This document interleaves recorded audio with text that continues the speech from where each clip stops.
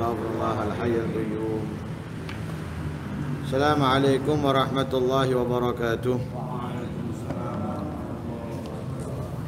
بسم الله والحمد لله والصلاة والسلام على رسول الله سيدنا ومولانا محمد بن عبد الله وعلى آله وصحبه ومن والاه ولا حول ولا قوة إلا بالله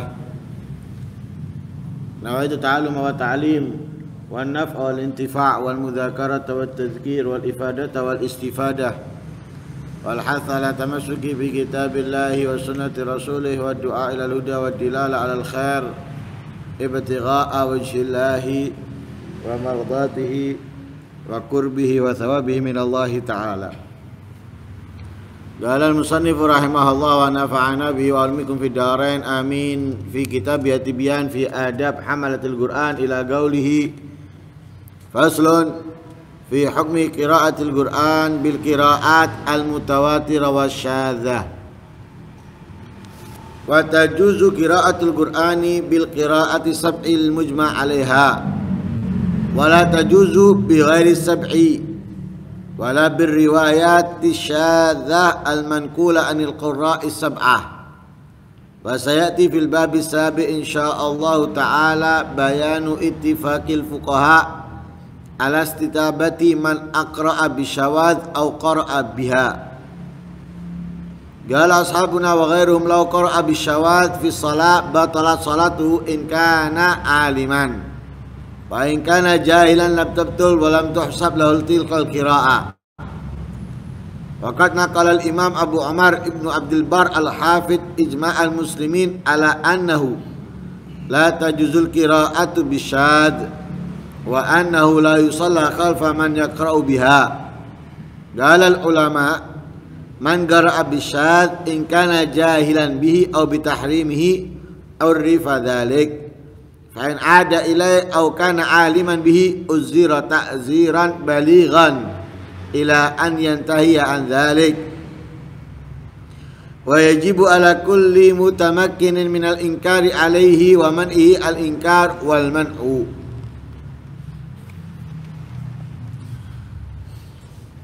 menjelaskan tentang hukum membaca Al-Quran dengan cara bacaan yang tawatur, mutawatiro dan yang syad.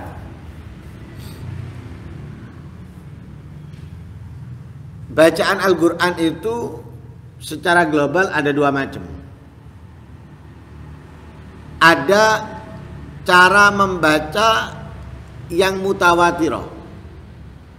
Yang mutawatiro itu berarti telah dibaca oleh orang-orang yang mana orang-orang tersebut ini mendapatkan dari orang-orang sebelumnya dan yang membaca dengan cara tersebut bukan satu dua orang tapi banyak. Itu namanya mutawatiro membaca misalnya seperti ini Bismillahirrahmanirrahim. Qul huwallahu ahad. Allahu samad. Lam yalid wa lam yulad wa lam yakul lahu kufuwan ahad. Cara membaca ini kita dengar. Kita ini banyak. Dari siapa? Dari orang-orang sebelum kita.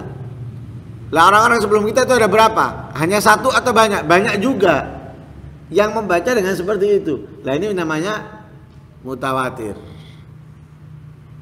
jadi kita mengetahui cara bacaan seperti ini dari orang sebelum kita dan bukan dari satu tapi dari beberapa orang.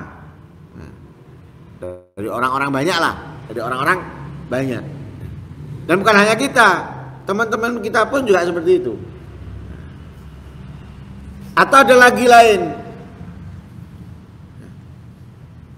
Kul ahad tapi bedanya di akhir misalnya kalau tadi walam yakun lahu kufuan ahad ini dibaca walam yakun lahu kufuan ahad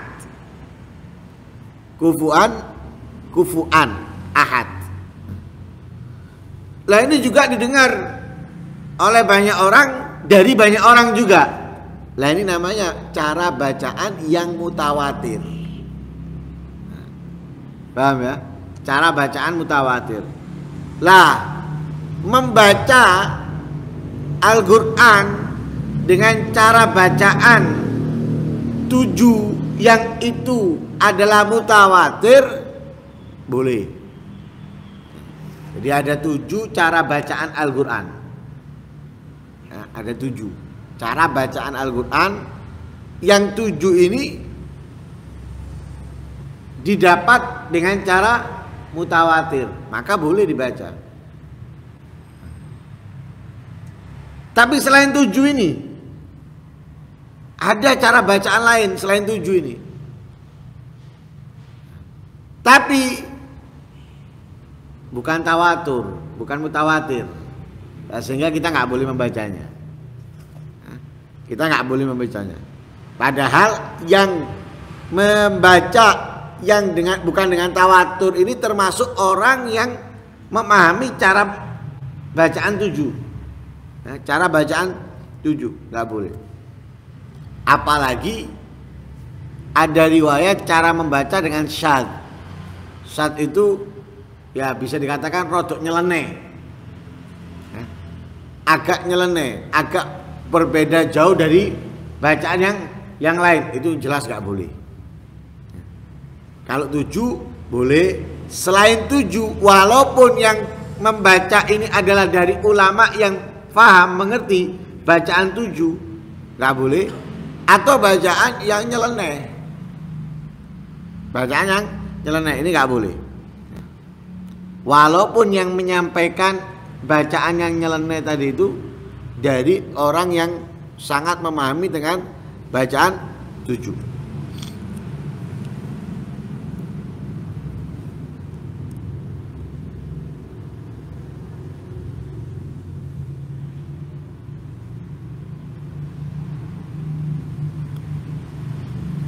Uh, nah karena itu kalau kita perhatikan Cara membaca Al-Quran ini diambil dari guru ke guru. Jadi bukan sekedar membaca dari guru ke guru. Yang sampai pun gak sama.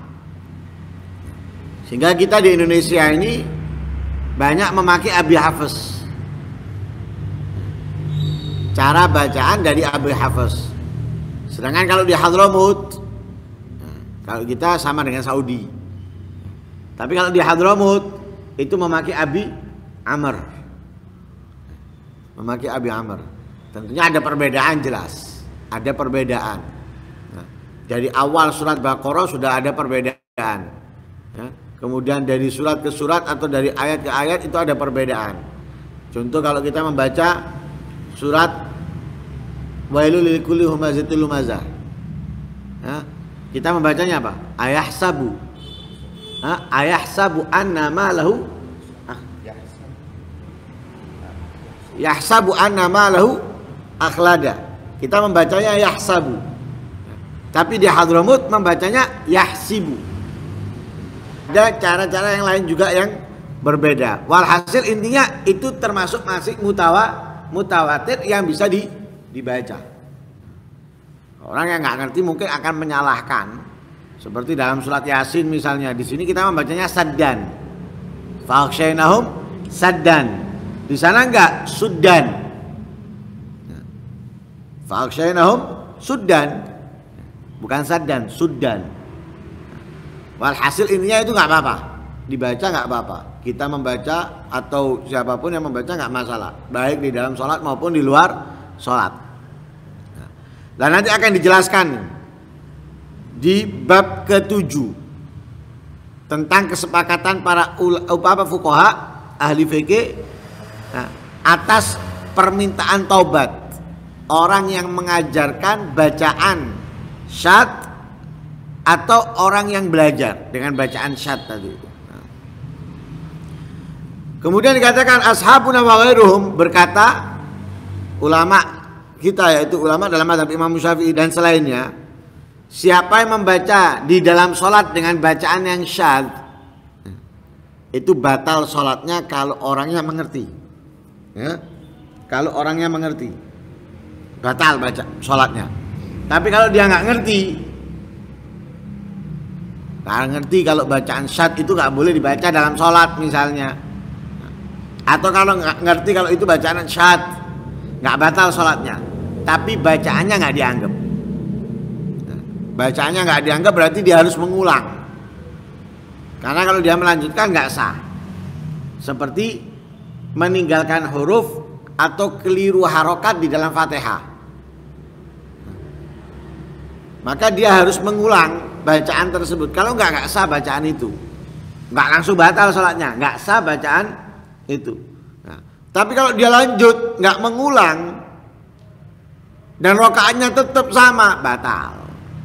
Nah, batal sholatnya. Karena apa? Dia dianggap di rokaat tersebut tidak sempurna di dalam membaca fatihah. Antara meninggalkan huruf atau merubah harokat harus mengulangi bacaan. Sama dengan orang yang membaca dalam sholat kiroat syad. Kiroat syadha dia harus mengulang bacaannya. Kalau nggak mengulangi nggak dianggap itu dia membaca ayat tersebut. Nah kalau itu fatihah berarti kan kurang ayatnya. Nah, nah kalau dia biarkan ya nggak sah sholatnya. Itu kalau nggak tahu nggak batal tapi bacanya nggak dianggap. Tapi yang tahu batal sholatnya